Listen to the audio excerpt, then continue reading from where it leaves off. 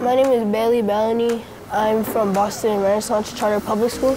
We participated in a STEM design challenge to create a machine to deliver a drug to a cancer cell.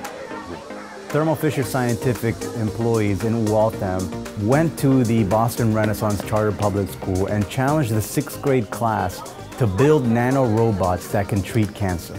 Number one, it had to carry medicine in the form of beads. Number two, it had to be able to travel to a cancer cell inside the body. And number three, it had to be able to deliver one bead to the cancer cell. And the cancer cell was a tennis ball.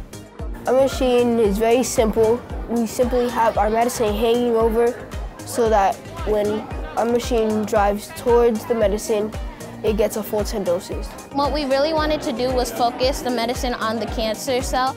I think I learned the severity of how cancer really impacts on somebody.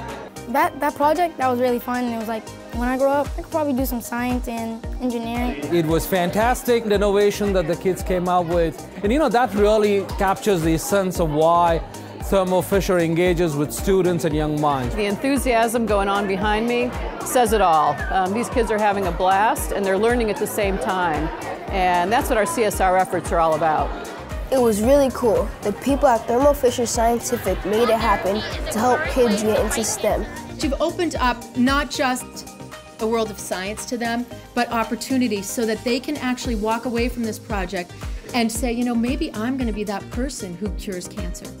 So earlier this evening, we had a chance to meet the next generation of young talent. They're clearly already showing great potential and may one day be our colleagues or our customers. The small team voted on the student inventions so that we could recognize the number one STEM Design Challenge project this evening. And the winner is the OGs. What STEM design really taught us was that we need to work together that we need to know science, technology, engineering, and math to solve problems. Thanks, Thermo Fisher Scientific, for getting us into science.